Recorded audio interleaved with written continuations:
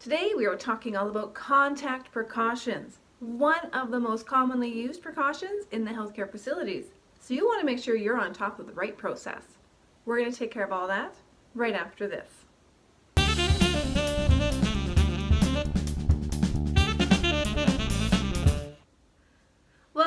Name is Tammy and this is Nurse Minder and on this channel we do everything nursing.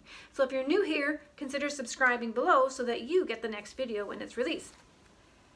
So in contact precautions, we use these to prevent the transmission of organisms that are transferred through skin-to-skin -skin contact or contact with their environment. In these cases, masks are not required because it's not a respiratory illness. These are microorganisms that are living on the surfaces. You may have commonly seen these in your practice with conditions such as C. diff, MRSA or MRSA as I hear it, and maybe even VRE and others.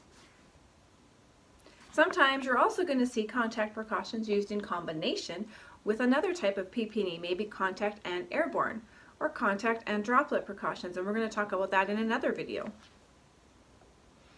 For these patients, the doors can stay open. There's no risk of transmission from the respiratory system, as mentioned, and hand hygiene is always important. So let's take a look at the donning and doffing process. Before we put on any of our equipment, our PPE, to enter into a patient's room, we always want to start with hand hygiene. So if your hands are clean, we can start with our antimicrobial scrub. Now while you've cleaned your hands, you've also noted which precautions you're going to be using. In this case, in our facility, we're using gloves and gown. We also want to make sure we look at the backside so that it matches our patient population. So my patient, say, today has a diagnosis of MRSA, and I know I can go in there, leave the door open, and do my care. Contact precautions. I'm going to put on my gown and you may find you have either cloth or fabric gowns. That will just influence how you discard it.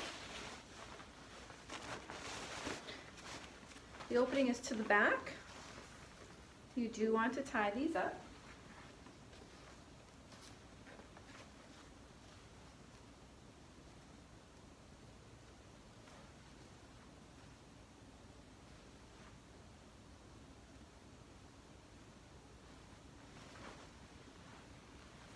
You also want to tie, except trying to cover, make sure you're covered at the back.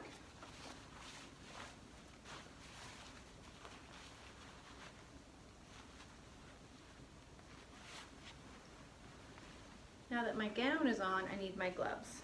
And these are just the ones that are clean, hanging in the box on the wall. You want to ensure that those go over the cuff and this will help to prevent germs from getting on your skin. Now that you've finished patient care, it's time to doff our PPE. To take this off,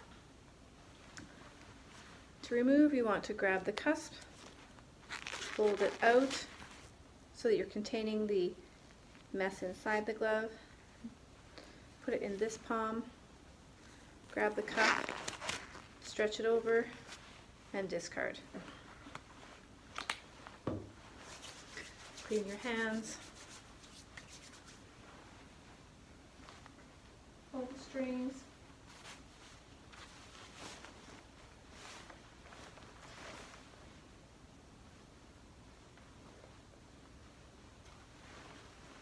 Turning it in onto itself and folding to discard. And then clean your hands. Thanks again for watching. Don't forget to subscribe down below and if you look in the description box you're going to see links of all the content that's been featured in these videos as, as well as a list of the items I use to record my videos in case you're interested in getting started. Until next time, make it a great day.